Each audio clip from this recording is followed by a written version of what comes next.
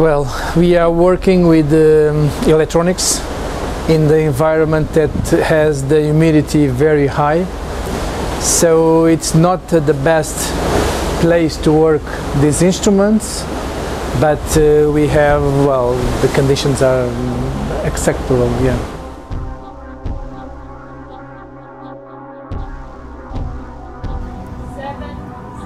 two one four one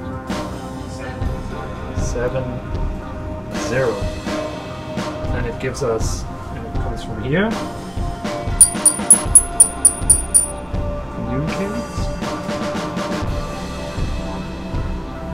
and hopefully we get an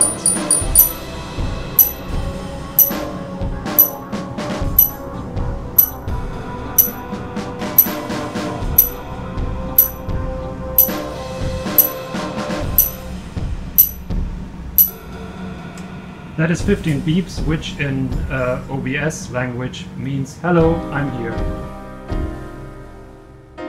It's been absolutely incredible. Uh, they asked amazing questions like will the sharks eat the seismometers or can you show us the pool of the, the ship? But importantly, I, I, I hope I could really transmit this enthusiasm, the novelty um, and the thrilling that we've been um, feeling and I've got really great feedback and it's, it's really, really very rewarding and I hope to inspire the next generation of seismologists and that some of them will be here in some years' time.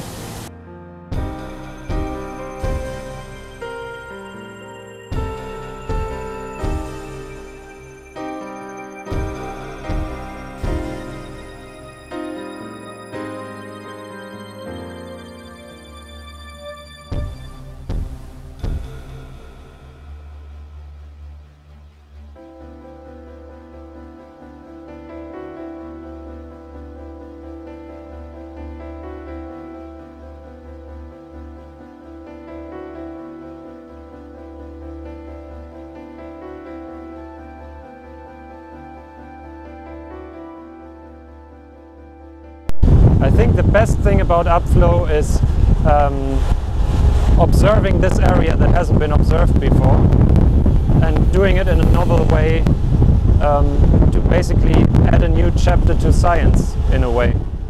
So far, the best thing on this cruise is being able to get my hands dirty and actually hold onto an OBS and push it into the ocean or pull it with some rope.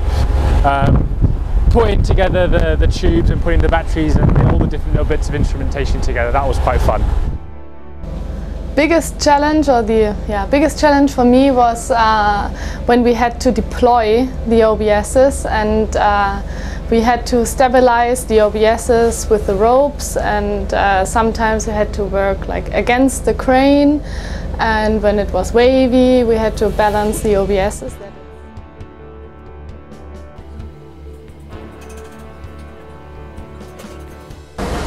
The major difficulties were actually the hot temperatures in the lab and outside because I'm used to polar regions.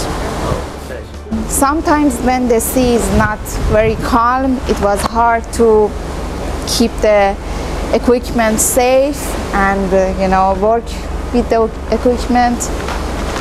But uh, totally, it was great for me. All the instruments are deployed. We hope that we get them back all next year.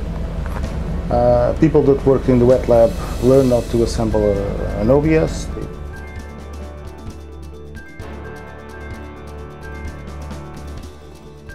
Another day in paradise.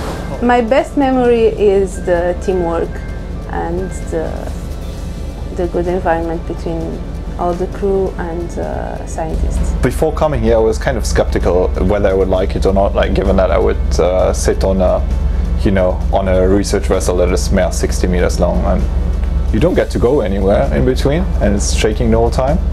You are with the same people the whole time, which is actually was actually the the best part for me. It was really uh, super nice to see the journey come to fruition and finally actually being on the ship and deploying OBSs.